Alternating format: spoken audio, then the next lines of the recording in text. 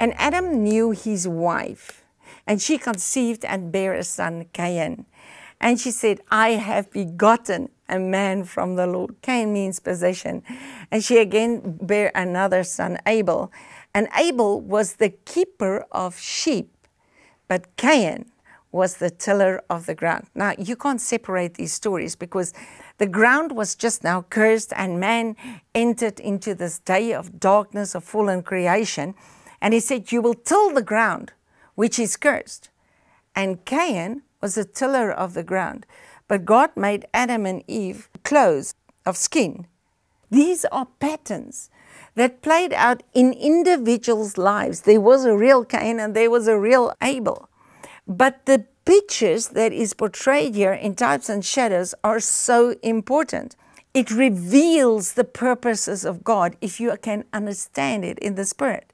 Now, verse 3 In the process of time, I just love the sentence.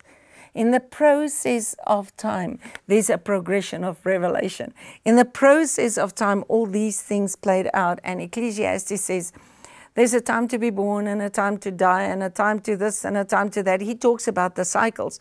But in the beginning, he said there's a time for every purpose, for everything, not a thing for every time. So time literally works the purposes of God.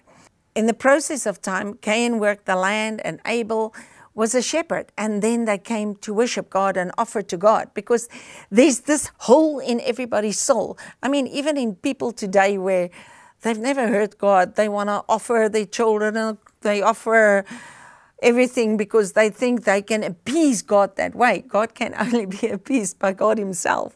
Cain brought of the field, and Abel brought of the sheep. And of course, if you look at the patterns, God was pleased with Abel's offer, but that turned on the envy within Cain. God appeared to Cain and he said to him, Sin is lying at your door. God's actually telling him, Don't open this door. What did he do? He opened the door, killed his brother. This is a door of envy that will destroy someone else.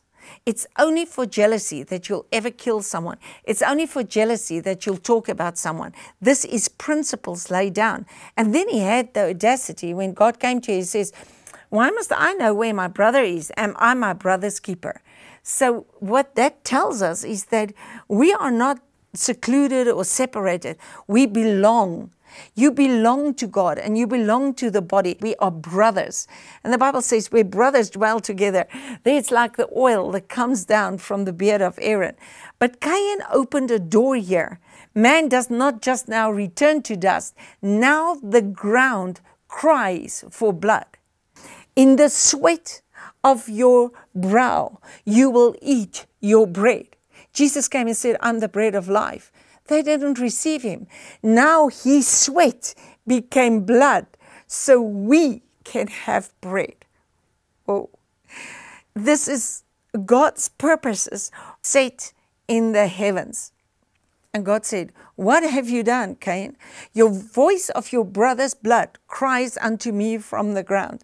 In Hebrews 12, he said, We have come to the city to the blood that cries of better things than the blood of Abel. The blood of Abel cries for revenge. Blood of Jesus came and answered that cry because Jesus became the door that opened the realm of heaven right here on earth. Because in Revelation he says, Come up higher. It doesn't say the door is in heaven, the door is here, but it's a realm that you step in where you live the higher life right here on earth. Cain now opened the door and he had to leave the presence of God. And Cain said to the Lord, My punishment is greater than I can bear. And that is to leave the presence of God. So Cain is literally portraying the seed line of the fallen humanity.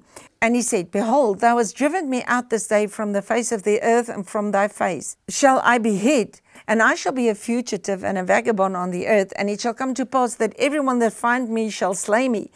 And the Lord said to him, Therefore, whoever will slay Cain, vengeance shall be taken on him, and sevenfold. And the Lord set a mark on Cain, lest any finding him should kill him. Now, please, the mark of Cain is not a racist mark. You can't say that race is, they carry the mark of Cain, because there was no races. Races only came at the Tower of Babel, the different nations and populations, when there was a dividing of races. So this mark means that even man in his fallen situation, God will take care of him. And this is also a picture of Babylon where Nebuchadnezzar had this dream of the tree that was cut down for seven years, seven periods. So he says here, if anybody touches you, vengeance will be taken sevenfold. So God is declaring that in man's fallen situation, God still looks after him. Cain had five children. The first one was called Enoch. And this was a desire for him to be part of what God has.